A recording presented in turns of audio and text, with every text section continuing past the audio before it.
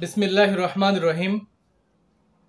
দূরে এবং কাছে, দেশে, প্রবাসে সবাইকে আন্তরিক শুভেচ্ছা এবং অভিনন্দন জানিয়ে আজকে আলোচনা করছি ডাক্তার সাব্বির আহমদ। সম্মানিত বন্ধুরা, প্রতিনিয়ত আমি হোমিওপ্যাথিক বিভিন্ন টপিকস নিয়ে আলোচনা করি। Case takings and repertory, homoeopathic medicine or materia medica এবং প্র্যাকটিস অফ মেডিসিন নিয়ে আমি কখনো কখনো আলোচনা করে থাকি। হোমিওপ্যাথির একটি ক্লিয়ার কনসেপ্ট দেওয়ার জন্য আমি আসলে এই বিষয়গুলোর সাবজেক্ট চয়েস করি। আমার এই আলোচনা ইতোমধ্যেই দেশে এবং বিদেশে সাড়া ফেলেছে। অসংখ্য শিক্ষার্থী, অসংখ্য শিক্ষানবিশ তারা আমার কাছে নক করেছে যে বলেছে যে আপনার আলোচনাগুলো চমৎকার আলোচনা, আমাদের হেল্প হচ্ছে। এই আলোচনাগুলো কন্টিনিউ করার জন্য তারা প্রতিনিয়ত আমাকে বলছে। অর্থাৎ এই আলোচনাগুলো যে মানুষের উপকার করছে, শিক্ষানবিশদের হৃদয়ের মধ্যে এই আলোচনাগুলো সাড়া ফেলেছে, এটা আমি বুঝতে পেরেছি। আমি শিক্ষানবিশ এবং শ্রোতা উভয়ের সাপেক্ষে, উভয়কে জন্য আমি টপিকসগুলো আলোচনা করি। আজকে প্র্যাকটিস অফ মেডিসিনের একটি টপিকস আলোচনা করব। আমরা অনেক সময় দেখে থাকি যে অনেকের কণ্ঠ কর্কশ হয়ে যাচ্ছে, অনেকের কণ্ঠ মোলায়েম নয়, অনেকের কণ্ঠ মিষ্টি ভাষী নয়, অনেকের কণ্ঠ রাফ হয়ে যাচ্ছে, হার্ড হয়ে যাচ্ছে। অর্থাৎ কণ্ঠের যে স্বর, কণ্ঠস্বর রাফ হয়ে গিয়েছে, হার্ড হয়ে গিয়েছে এবং কণ্ঠস্বর মসৃণ নয়। তাদের জন্য আজকের এই আলোচনা। কয়েকটি কারণে কণ্ঠস্বর মসৃণ হয়। একটা হচ্ছে যারা বেশি পড়াশোনা করে, যারা বেশি ভোকাল করে, যারা বেশি পরিশ্রম করে, যারা রাজনীতিবিদ, বেশি বেশি বক্তৃতা দেয়, পরিশ্রম করে, যারা গায়ক, যারা গান বাজনা করে, যারা সারা রাত দেখা যাচ্ছে গান বাজনা করছে, ঘুমাতে পারছে না। এরপরে যারা মসজিদের আজান দেয়, যারা মুয়াজ্জিন, তাদের মাইকে প্রতিদিন পাঁচবার মাইক আজান দেয়া লাগে। এছাড়াও রয়েছে বিভিন্ন অনুষ্ঠান, যেমন মরণ, কেউ যদি মারা যায়, সেক্ষেত্রে মাইকে অ্যালাউন্স করা লাগে। কেউ যদি মারা যায়, সেখানে তাদের খতম পড়ানো লাগে, কোরআন শরীফ খতম দেওয়া লাগে। তাদের কণ্ঠে সমস্যা হয়। এরকম করে যারা স্টুডেন্টস তারাও কিন্তু অসংখ্য ঘণ্টা তারা পড়তে পড়তে পড়তে পড়তে এক সময় এই কণ্ঠের কণ্ঠ স্বরে তাদের মসৃণতা হারিয়ে ফেলায়। অনেকের কণ্ঠ ভেঙে যায়।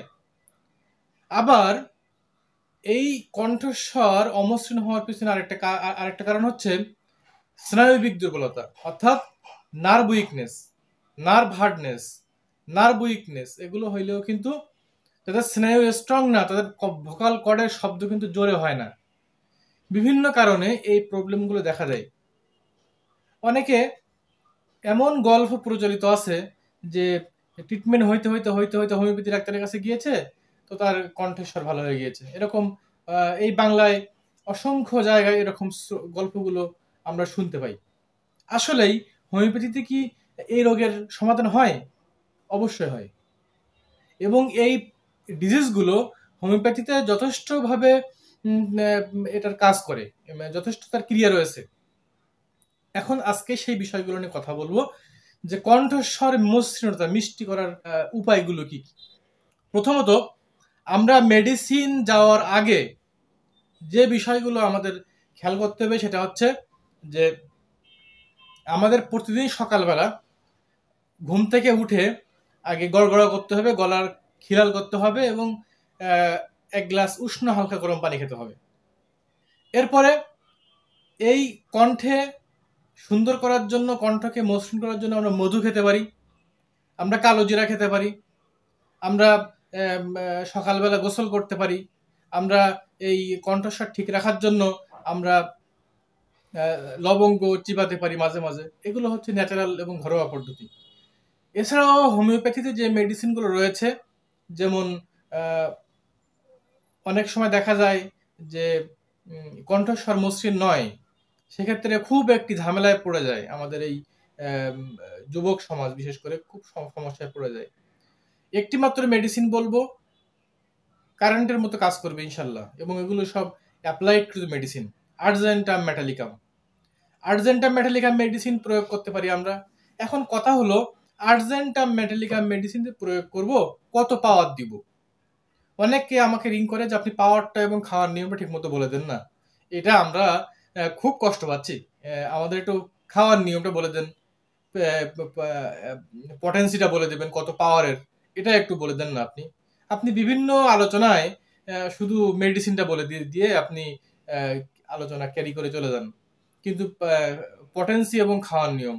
ঠিক আছে, আমি এই কথাগুলো যারা আমাকে পরামর্শ দিয়েছেন এবং আমাকে রিং করেছেন যে পটেন্সি আমি পটেন্সি বলে দিচ্ছি। পটেন্সি সিলেকশনের নিয়ম হচ্ছে, দেখতে হবে রুগীর বয়স কত। দেখতে হবে রুগীর শারীরিক সক্ষমতা কতটুকু এবং দেখতে হবে রুগীর স্থূলতা কতটুকু, তার ওয়েট কতটুকু। যদি তার ওয়েট কম থাকে একরকম পাওয়ার যাবে। যদি ওয়েট বেশি থাকে, একরকম পাওয়ার যাবে। যদি ওয়েট মধ্যম থাকে আরেক রকম মেডিসিন যাবে। যদি তার এই রুগীর যদি শারীরিক সক্ষমতা কম থাকে, অর্থাৎ স্নায়বিক দুর্বল থাকে, একরকম পাওয়া যাবে সেক্ষেত্রে আমরা ম্যান টাইপ ভেদে যারা বয়স কম, বয়স বেশি, বয়স মধ্যম, এরকম বয়স ভেদেও মেডিসিনের পাওয়া নির্ণয় করতে হয়। সর্বোপরি প্র্যাকটিস করতে করতে করতে করতে এই ধারণাগুলো সৃষ্টি হয়ে যাবে ইনশাল্লাহ তো আমরা অনেক সময় যাদের বয়স কম, স্থূলতা কম, তাহলে এরকম রোগীদের ক্ষেত্রে আমরা আর্জেন্টাম মেটালিকাম আমরা তিরিশ প্রয়োগ করতে পারি। তাদের একটু স্থূলতা বেশি বা একটু বয়স বেশি আমরা দুশো প্রয়োগ করতে পারি। যাদের স্থূলতা আরও বেশি, বয়স আরও বেশি, তাদের ক্ষেত্রে আমরা এম প্রয়োগ করতে পারি, আমরা টেন এম প্রয়োগ করতে পারি, আমরা সিএম প্রয়োগ করতে পারি। এবং সর্বোপরি বয়স এবং তার সব কিছু ঠিক আছে বাট তার শারীরিক সক্ষমতা, অর্থাৎ স্নায়বিক উইকনেস বা তার মধ্যে নার্ভাসনেস নার্ভ উইকনেস রয়েছে এবং তার ভাইটাল ফোর্স কম আছে, সেক্ষেত্রে মেডিসিনের পাওয়ার আবার কমে যাবে। সব কিছু ব্যালেন্স করতে হবে। এটা একজন ডাক্তার যিনি, তিনি এগুলো ইগলের চোখ দিয়ে দেখবেন। অর্গান অফ মেডিসিন রয়েছে, ইগলের চক্ষু হতে হবে একজন ডাক্তারকে। তাহলে পাওয়ার এবং পটেন্সি যেটা বলছি, এটাকে আমরা ফাইন্ড আউট করতে পারব সিলেকশন করতে পারব। আরেকটা বিষয় আছে, যদি তার ভোকাল কর্ড মানে কণ্ঠস্বর যদি জোরে না হয়, অর্থাৎ হালকা হয়, সেক্ষেত্রে আমরা আমাদের নার্ভ উইকনেসটা স্ট্রং করতে হবে। তাহলে আমাদের ভোকাল কর্ডের যে ভয়েসটা, এটা হচ্ছে আরও স্ট্রং হবে। একটি বললাম আর্জেন্টাইন মেটালিকাম, আরেকটা হচ্ছে শব্দটা, অর্থাৎ কণ্ঠস্বরের শব্দটা বাড়ানোর জন্য, ভোকাল কর্ড স্ট্রং করার জন্য, আরেকটা মেডিসিন খেতে হবে, সেটা হচ্ছে kali phosphoricum six X kali phosphoricum six X kali phosphoricum কিন্তু কোনো হোমিওপ্যাথিক মেডিসিন নয়, কিন্তু হোমিওপ্যাথিক সেকশনের একটি অধ্যায়ের একটি মেডিসিন এটি বায়োকেমিক মেডিসিন এটাকে একটা সুসলার এটা আবিষ্কার করেছেন, কিন্তু হেনিম্যান এটাকে স্বীকৃতি দিয়ে গেছেন। সো হোমিওপ্যাথিক সেকশনের একটি সমমনামানের একটি মেডিসিন সেটি হচ্ছে ক্যালিফসফরিকাম সিক্স এক্স এই ক্যালিফস সিক্স এক্স তারা প্রতিদিন পাঁচ থেকে ছয়টা বড়ি চিবিয়ে খেয়ে হালকা গরম পানি বা গরম দুধ খেতে পারে। তাহলে কি হবে? নার্ভ স্ট্রং হবে, তার ভোকাল কর্ড আরও স্ট্রং হবে। তো আজকে আমরা বুঝলাম যে আসলে এই কণ্ঠস্বর মসৃণ হওয়ার জন্য যে মেডিসিন সেটি হচ্ছে আর্জেন্টাম মেটালিকাম এটা কেন হয়? পড়াশোনার কারণে হয় বক্তৃতা দেওয়ার কারণে হয় আইনজীবী যারা কোর্টে মামলা পরিচালনা করে তাদের হয়। এরপরে এদের কণ্ঠস্বর বিভিন্ন মামলা পরিচালনা করতে গেলে অনেক সময় কণ্ঠস্বরে হার্ট দিয়ে কথা বলতে হয় অপোজিশন পার্টির সামনে, সেক্ষেত্রে তাদের সমস্যা হয়। আর একটি বিষয় হচ্ছে যারা মুয়াজ্জিন বা যারা বাদ্য বাজনা পরিচালনা করে গায়ক, এদের সমস্যা হতে পারে।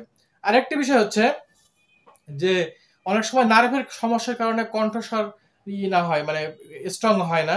এটিকে আমরা বলি সাইকোনিউরোসিস এই সমস্যাকে আমরা বলি সাইকোনিউরোসিস অর্থাৎ কোনো একটি কারণে মানসিক শখ খাওয়া, কোনো একটি কারণে উদ্বিগ্নতা, কোনো একটি কারণে অস্থিরতা, কোনো একটি কারণে তার দুর্বলতা মস্তিষ্কের।